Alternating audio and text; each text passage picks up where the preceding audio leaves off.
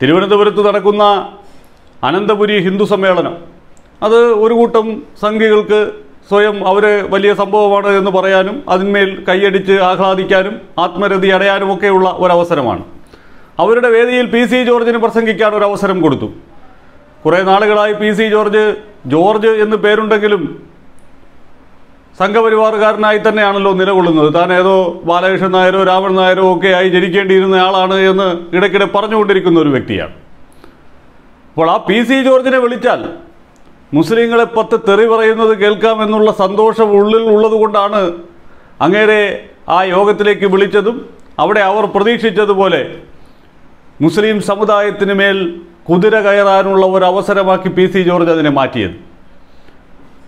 അപ്പോൾ മുസ്ലിം സമുദായത്തെ എന്തെങ്കിലും പറയുമ്പോൾ അപ്പുറത്തിരിക്കുന്ന ആ അതിതീവ്ര ഹിന്ദുക്കൾ ഇങ്ങനെ ഇരുന്ന് കൈയടിച്ചു കൊടുക്കുക. അപ്പോൾ ആവേശം മൂത്ത് ആശാൻ പിന്നെയും പിന്നെയും ആ സമുദായത്തെ ആക്ഷേപിക്കാൻ ശ്രമിക്കുകയാണ്. ആ പ്രസംഗമൊന്നും കേൾപ്പിക്കാൻ പോലും കൊള്ളത്തില്ല. ആ നിലയിലുള്ള വർത്തമാനമാണ് പറഞ്ഞത്. ഇപ്പോൾ പിണറായി വിജയനെയും അദ്ദേഹത്തിന്റെ പാർട്ടിയെയും ഒക്കെ പറയുന്നത് പോട്ടെ അത് ബി സി ജോർജ് കുറേ നാളായി പറഞ്ഞുകൊണ്ടിരിക്കുന്നതാണ്. അതിനുള്ള ശിക്ഷ അദ്ദേഹത്തിന് ജനാധിപത്യ വേദിയിൽ വളരെ കൃത്യമായി കിട്ടുകയും ചെയ്തു.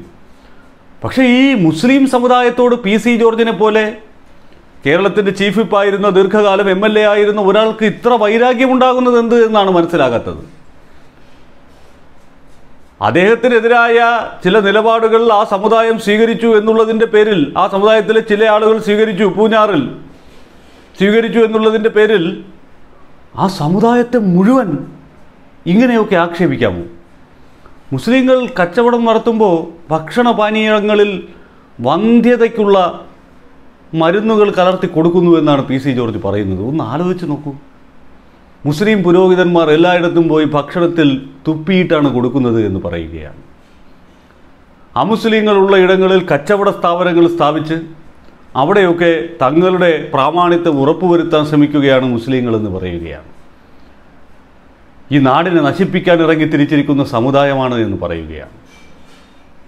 ഏതിനെങ്കിലും വസ്തുതയുടെ ഒരു ചെറിയ അടിസ്ഥാനമെങ്കിലും ഉണ്ടോ പി സി ജോർജിന്റെ ഈ പ്രസംഗത്തിൽ? അരമണിക്കൂറോളം പ്രസംഗിച്ചതിൽ ഇരുപത്തിയഞ്ച് മിനിറ്റും മുസ്ലിം സമുദായത്തെ ആക്ഷേപിക്കുന്നതിന് വേണ്ടിയിട്ടാണ് പി സി ജോർജ് മാറ്റിവെച്ചത്. കേരളീയ സമൂഹത്തിൽ ഇപ്പോൾ ഇടതുപക്ഷത്തോടും വലതുപക്ഷത്തോടും ഒക്കെ ചേർന്ന് നിന്നിരുന്ന ഒരാൾ സ്വാഭാവികമായി ആ മനുഷ്യനിൽ മതേതരത്വത്തിന്റെ ഒരു ചെറിയ കണികയെങ്കിലും ഉണ്ടായിരിക്കേണ്ടതാണ്.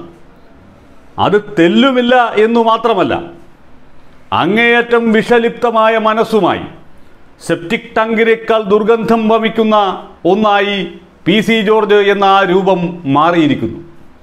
സഹിക്കാൻ കഴിയ കഴിയാത്ത നിലയിലേക്ക് അദ്ദേഹത്തിന്റെ വായിൽ നിന്ന് വരുന്ന വാക്കുകൾ ദുർഗന്ധപൂരിതമായിരിക്കുന്നു. അതുകൊണ്ടാണ് യൂത്ത് ലീഗിന്റെ നേതാവ് പി കെ ഫിറോസിന് ഡി ജി പിക്ക് അക്കാര്യങ്ങൾ വളരെ കൃത്യമായി തന്നെ രേഖപ്പെടുത്തിയ ഒരു പരാതി നൽകേണ്ടി വന്നത്. കൂടുതൽ മുസ്ലിം സംഘടനകൾ പി സി ജോർജിനെതിരെ പരാതിയുമായി രംഗത്തെത്തും എന്നാണ് അറിയാൻ സാധിക്കുന്നത്. അത്രമേൽ വർഗീയ വിഷം തുപ്പുന്ന പ്രസംഗമായിരുന്നു അത്. ഇപ്പോൾ പി സി ജോർജിന് എന്തും പറയാം. അദ്ദേഹത്തിന് നാക്കിനെല്ലാത്തത് കൊണ്ട് എന്തും പറയും. ഇടയ്ക്കിടെ വാർത്താ സമ്മേളനം വിളിച്ചു കൂട്ടി കണ്ണിൽ കണ്ടവരെയൊക്കെ തെറി വിളിക്കുന്നുണ്ടല്ലോ അതിലങ്ങനെ ആറാടുന്നുണ്ടല്ലോ അദ്ദേഹം.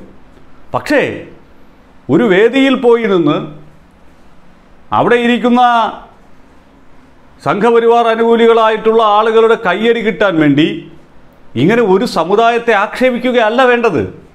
ഇപ്പോൾ പി സി ജോർജ് വലിയ ആവേശത്തിൽ പറയുന്ന ഈ സംഘപരിവാർ സംഘടനകളുടെ ഭാഗമായിട്ടുള്ള ബി ജെ പിയിൽ ധാരാളം മുസ്ലിങ്ങളുണ്ട്. അവർക്ക് പോലും വേദന ഉണ്ടാക്കുന്ന പരാമർശങ്ങളാണ് നടത്തിയിരിക്കുന്നത്. ഇത് ഒന്നോ രണ്ടോ വ്യക്തികളെക്കുറിച്ചല്ല ഈ പറയുന്നത്. ഒരു സമുദായത്തെ ആകെയാണ് ലോകമാകെ പടർന്ന് പന്തലിച്ച് കിടക്കുന്ന ഒരു സമുദായത്തെയാണ് ആക്ഷേപിക്കുന്നത്. അതിന് നിദാനമായി എന്തെങ്കിലും തെളിവുകൾ നിരത്താൻ അദ്ദേഹത്തിന് കഴിഞ്ഞില്ല. ഇങ്ങനെ ഛർദ്ദിച്ചുകൊണ്ടേ ഇരിക്കുകയായിരുന്നു. അതുതന്നെയാണ് എന്തൊക്കെയോ മനസ്സിൽ തോന്നുന്നു.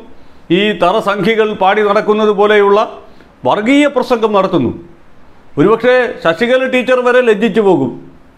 ഇത്തരത്തിലുള്ള വർഗീയ പ്രസംഗത്തിൽ തന്നെ വെല്ലുന്ന നിലയിലേക്ക് പി സി ജോർജ് എത്തിയിരിക്കുന്നുവല്ലോ എന്ന് ആലോചിച്ചു.